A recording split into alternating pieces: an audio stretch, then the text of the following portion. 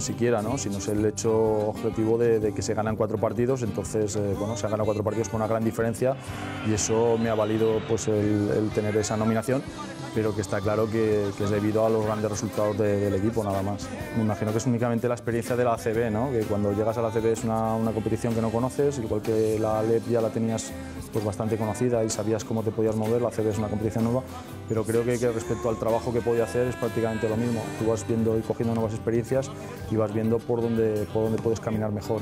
Quizás hemos perdido referentes eh, como especialistas, digamos, en anotar. ¿no? El, primer año en ACB tuvimos a Quinteros, el segundo año tuvimos Bracy Wright.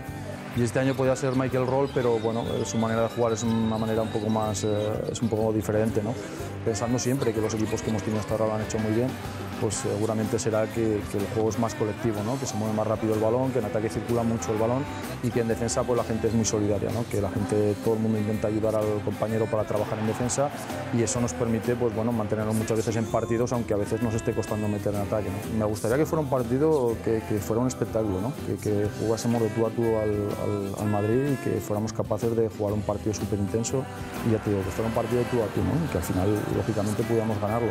Y se ve claramente que los equipos de Euroliga pues les va pasando factura seguramente las dos competiciones y sobre todo haber puesto competiciones los viernes. ¿no? Eh, aunque el Madrid pues evidentemente tiene una plantilla muy larga y son jugadores todos muy importantes, pero mm, bueno, siempre estas cosas afectan, ¿no? El poder jugar dos partidos tan, tan seguidos, el tener poco tiempo para preparar un partido después de, otro, ¿no?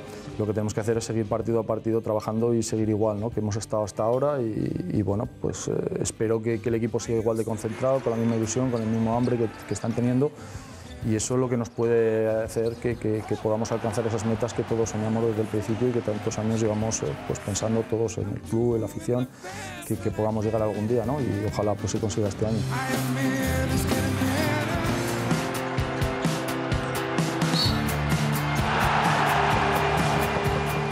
Bueno, es un halago, ¿no? Ah, no sé si seré el más rápido no, porque hay muchos jugadores rápidos, ah, algún que otro base bajito también que corre bastante. Ah, pero bueno, es una parte de, mi juego que, destaca y en la cual pues me encuentro muy cómodo ¿no? cuando el juego es dinámico.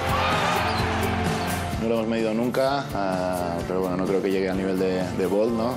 pero, pero sí que, corro rápido y en esas situaciones pues, de, final de cuarto, de final de posesión, pues me gusta tomar la responsabilidad y, ir hacia adelante tiene parte de trabajo, ¿no? de trabajar con el preparador físico eh, y parte también de genética. Cuando era más pequeño, pues eh, sí que corría, pero no era tan rápido, ¿no? hasta que pegué pues, un, buen estirón y, mejoré bastante físicamente y, de ahí pues esa velocidad. Creo que la mejor sería contra el Lagunaro, cuando todavía jugábamos en Vista Alegre, que, bueno, me recorrí todo el campo y, acabé con un mate a una mano y, esa creo que sería la mejor.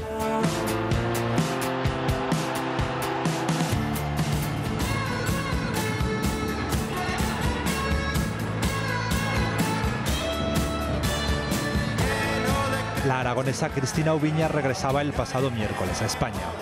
La base abandonaba este verano el Manfilter para fichar por el Wisla Cracovia, conjunto que visitaba al Rivas Ecópolis. Su familia se acercó hasta Madrid para arropar a la zaragozana y vio cómo su equipo se imponía por cuatro puntos en la Euroliga femenina. La verdad que se me ha pasado volando.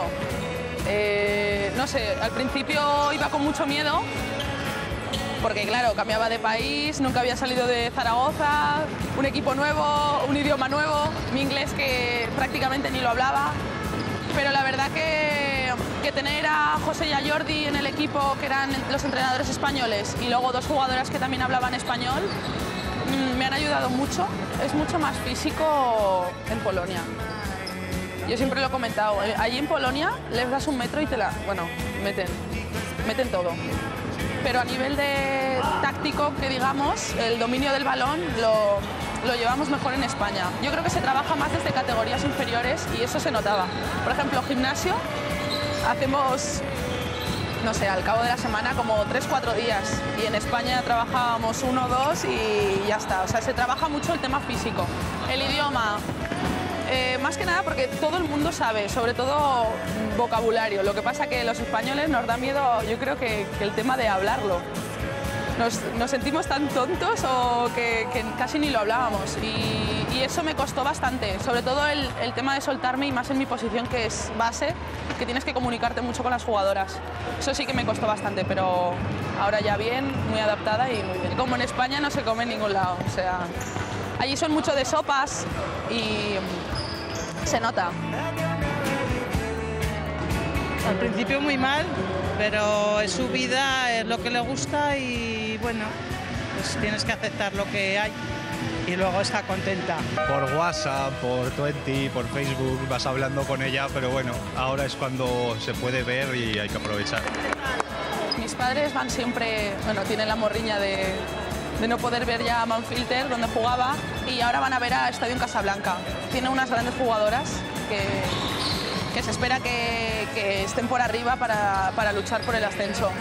Y la verdad que, que, yo creo que este año, más que otros años, tienen la posibilidad de ascender. Sí, la Liga Española es muy buena, pero no sé, me apetecía probar pues eso, una Liga Europea, una FIBA Cup o lo que sea.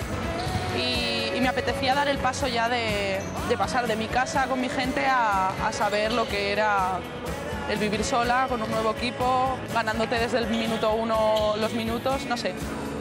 La verdad que me apetecía y que ya tenía en mente dejar el equipo, porque creo que Zaragoza no, no merecía terminar así, Manfilter.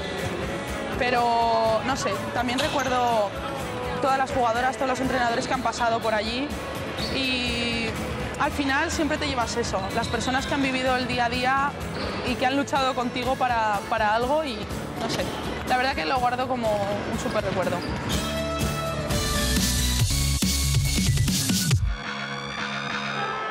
El Lobe Huesca ya sabe lo que es vencer como visitante tras imponerse por nueve puntos en pista del Navarra. La defensa permitió al conjunto de Kim Costa contrarrestar el potencial interior de los locales, dejando en solo 25 puntos en la primera parte al equipo navarro. Y en la segunda supo aguantar su renta para sumar su segunda victoria consecutiva. Aboguo con 18 puntos y Cebular y Fuentes con 12 fueron la referencia ofensiva del Lobe. Todavía estamos en una fase constructiva, eh, con muchas, con algunas dudas, que pues poco a poco vamos eh, consolidándonos y vamos eh, sintiéndonos con más seguridad, ¿no? Pero hasta ahora pues no habíamos ganado fuera de casa. Los ostenses con esta victoria ante un rival directo abandonan los puestos de descenso. Con tres triunfos, décimos reciben este viernes en el Palacio de los Deportes a un rival complicado como es Palencia. En Liga EVA, derrota del Olivar en el Hospitalet por 94 a 77. Por su parte, el Estadio Casablanca se impuso por un apretado 73 a 72 al Aracena. Tras estos resultados, el Olivar es un décimo con cinco victorias y siete derrotas. El Estadio Casablanca es decimocuarto con una victoria menos.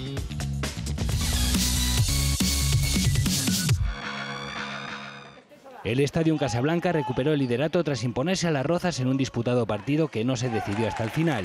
El conjunto zaragozano supo imponer el poderío de su juego interior para doblegar a las madrileñas y olvidarse así de la derrota de la semana pasada. Y sí que es verdad que ya se han apretado, han apretado bastante, pero sobre todo lo, más, el resultado más positivo es el, evidentemente el marcador, que hemos ganado el partido y sobre todo que, que durante todo él hemos tenido prácticamente el partido controlado ellas se acercaban, pero siempre con la seguridad de saber lo que jugábamos. Isabel Pérez con 14 puntos y 12 rebotes para firmar 32 de valoración y Marta García con 21 puntos, 7 rebotes, 4 tapones y 27 de valoración fueron las mejores jugadoras de las locales. Las de Alex Cebrián no estuvieron acertadas desde el perímetro con uno de ocho intentos, pero supieron imponer su juego de conjunto para llevarse el triunfo. La próxima semana toca visitar Guernica.